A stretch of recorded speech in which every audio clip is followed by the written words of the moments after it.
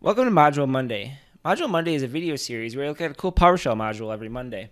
This Monday, I'm looking at the Unix Completers module. The Unix Completers module is a module by the Microsoft PowerShell team to allow for parameter completers for native commands on Linux and Mac OS X.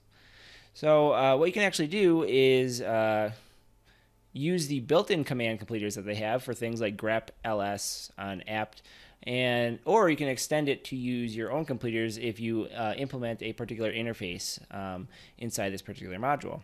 So there are some options that you can set. Um, first of all, you can set uh, things like the shell that you want to use. So for example, bash or z shell. Um, and you can also set up uh, the ps readline key handler for the tab um, key and then uh, invoke the menu complete function of PS Readline. So I'm going to actually uh, show you how to do that uh, in PowerShell here.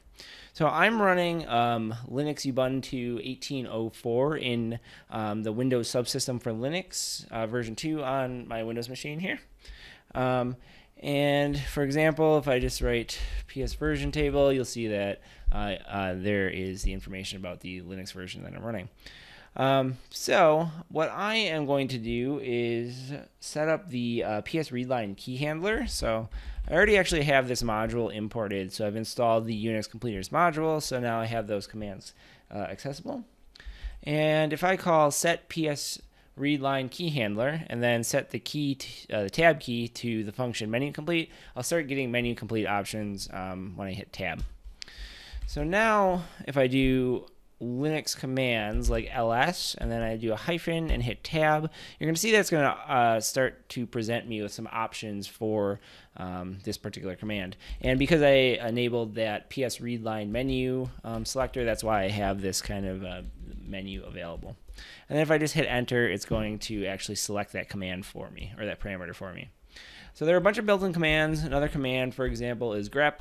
If I hit um, tab on that hyphen there, you're going to see a bunch of the actual grep options that I can specify um, and hit enter there. Um, in addition to kind of the basic parameters, you can also specify parameters that are more dynamic. So example here would be apt, uh, if I could type install, and then if I start to type the name of a package that I want to install and hit um, tab, it's going to actually provide me with a bunch of different names of packages that I can actually install via, uh, via apt. Um, and finally, uh, I want to talk a little bit about the um, extensibility of this particular module. So all the commands can actually be extended using uh, this iUnix util completer interface. So you can actually define new completers by extending that particular interface, and you just need to extend these two methods. So there's the find completable commands method and then the complete commands method. So if we actually uh, jump over into the GitHub repo for that and look at that particular interface, you'll see that um, pretty much the find completable commands um, method will need to return the commands that this particular util can complete. And then we actually have this complete command um, method that you need to override where you get the name of the command, uh, the word to complete, the command AST, so you actually have some information about the current command that's typed in, and then where the cursor position is. So you can actually define your own command completers for Unix commands um, by implementing this interface. So in this video, we looked at the Microsoft team, or PowerShell team's Unix completers module and how to uh, complete existing Unix commands or extend the module itself to complete uh, commands of your choice.